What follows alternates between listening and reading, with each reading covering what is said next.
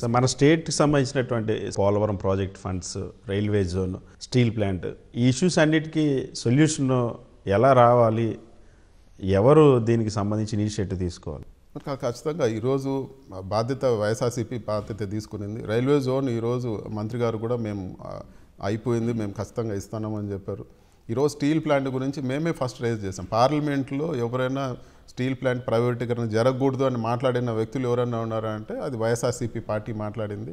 ముఖ్యమంత్రి గారు first letter రాశారు. ప్రధానమంత్రికి ఇది చేయొద్దండి లాభాల బాటలో తీసుకుపోవాలంటే మైన్స్ అలాట్ చేయాలి విశాఖపట్నం స్టీల్ ప్లాంట్కి అని చెప్పి. అదే స్టాండ్ పైన మేము కూడా పలుమార్లు మేము ఫైనాన్స్ మినిస్టర్ని కానీ లేకపోతే పార్లమెంట్లో మాట్లాడడం కానీ ఇవన్నీ కూడా చేసాము. ఖచ్చితంగా మేము విశాఖపట్నం స్టీల్ ప్లాంట్కు మా స్టాండ్ అయితే క్లియర్. ఖచ్చితంగా గవర్నమెంట్ కానీ సీఎం గారు కానీ ఇప్పటికే అన్ని విధాల మా ప్రయత్నాలు చేస్తాం. ఇంకా కూడా ప్రయత్నం చేస్తాం. ప్రధానమంత్రి గారిని ముఖ్యమంత్రి గారు పబ్లిక్ మీటింగ్లో సార్ సార్ సార్ అని బతిమాలుకుంటున్నారని చెప్పేసి లోకేష్ ఒక ట్వీట్ చేశారు పరిస్థితి ప్రధాన మంత్రి గారు అంటే దేశానికి. ఒక మన ఇండియాకు ప్రధాన మంత్రి ఖచ్చితంగా సార్ అనడంలో తప్పేముంది?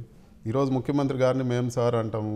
ఆ ప్రధానమంత్రి గారిని అందరూ కూడా సార్ అనాల్సిన అవసరం ఉంది. ఆ ప్రధానమంత్రి గారిని మనం ఏదో సార్ అని సంబోధించకుండా పేరుతో పిలిస్తే మనకేమైనా జరిగేది మనకు పాజిటివ్గా వచ్చేది ఏమీ లేదు. గౌరవం పోవడం తప్పితే మన మన గౌరవం పోవడం తప్పితే. సో ఇవన్నీ కూడా వాళ్ళు అక్కస్ పట్లక బ్రహ్మాండంగా ఆ రోజు ముఖ్యమంత్రి గారు మాట్లాడారు. అవన్నీ అక్కస్ పట్లాక దాంట్లో ఏదో ఒక లొసుగులు పట్టుకోవాలని చెప్పి సార్ అని అని చెప్పి చంద్రబాబు నాయుడు గారు సార్ అనకుండా ఏమంటారు? ఖచ్చితంగా ఆయన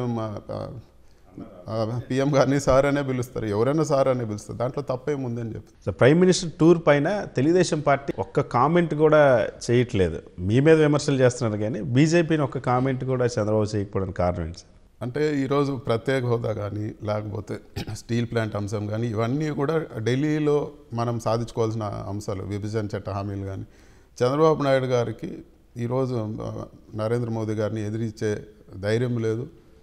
కాబట్టి ఆయన ఇదివరకు ఎలక్షన్ ముందు కాంగ్రెస్ పార్టీతో పోయి ఎలక్షన్ ముందు మాట్లాడారు కానీ ఎలక్షన్ తర్వాత పూర్తిగా యూటర్న్ తీసుకొని రాహుల్ గాంధీని కలవాలన్నా కూడా భయపడుతున్నారు. అది వరకేమో రాహుల్ గాంధీని ప్రధానమంత్రి చేస్తా అని చెప్పారు. ఎలక్షన్ తర్వాత పూర్తిగా యూటర్న్ తీసుకొని ఇవన్నీ చంద్రబాబు గారి నైజం. చంద్రబాబు నాయుడు గారిని ఈరోజు కాంగ్రెస్ పార్టీ నమ్మడం లేదు. అదేవిధంగా బీజేపీ పార్టీ కూడా నమ్మడం లేదు. ఎవరు కూడా ఆయన నమ్మే పరిస్థితి లేదు. క్యారెక్టర్ అతను ఒక స్టెబిలిటీ లేదు నమ్మదగిన వ్యక్తి కాదనేది ఈరోజు పొలిటికల్ సర్కిల్స్లో ఎవరిని అడిగినా కూడా తెలియజేస్తారు